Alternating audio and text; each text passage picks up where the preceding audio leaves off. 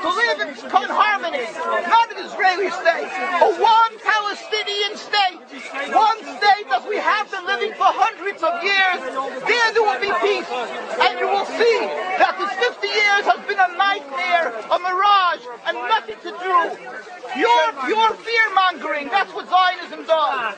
It's panic, throwing, going into a theater and yelling fire, fire. That's what Zionists do. We've been living with the Muslims.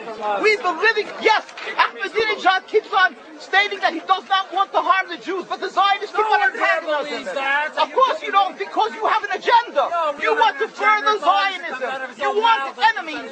You want enemies in order to be able to say you're protecting the Jews. We don't want enemies. We want to live in peace.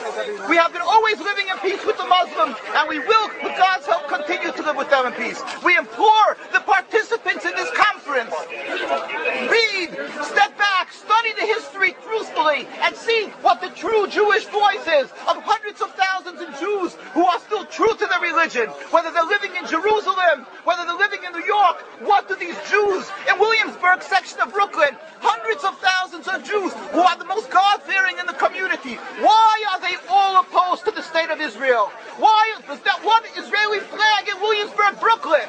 These are the most God-fearing religious Jews. Why don't they fly an Israeli flag? They have hospital help. They have Hatzalah, ambulatories, and everything free of charge to help people. The most greatest charitable organizations. Why these compassionate people don't support the state of Israel? Why not? Because they don't like Israel. Why not? Because they're the self-hating Jews? trying to build a Jewish state. Why? Are they fools? Are they fools? The reason is simply because they fear God. I know why. You don't know why. Because they're God-fearing. And God forbid us to have a state. We are in exile by God we decree exile. And we are forbidden to oppress the people. We are forbidden to oppress the Palestinian people and steal their houses. That is what Judaism says. Thou shalt not steal. Thou shalt not kill. We have